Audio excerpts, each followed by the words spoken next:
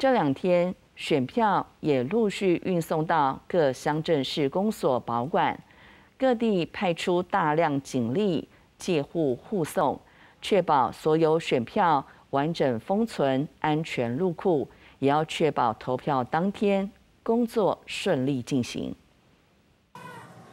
各地警方荷枪实弹，严阵以待。不过这一回不是要互抄，而是要护送选票。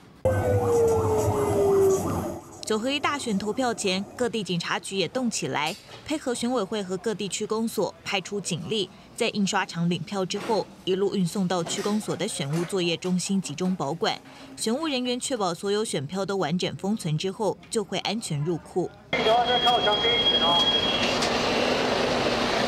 双北市派出大量警力借护，搜证人员全程录影，不敢大意。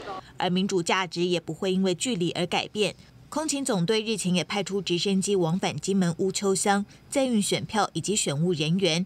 光是空勤成本就大约五十万，零零总总计算，岛上笑称一张选票平均成本将近三万，堪称是全国最贵的选票。明天就是投票日，选委会也再次提醒民众投票要戴好口罩，口罩上禁止有候选人号次，记得携带身份证、印章和投票通知单。另外，从二十一号起通报确诊的民众，当天无法外出投票，违者最高将开罚两百万元。记者谢振林、朱凤竹、吴其昌综合报道。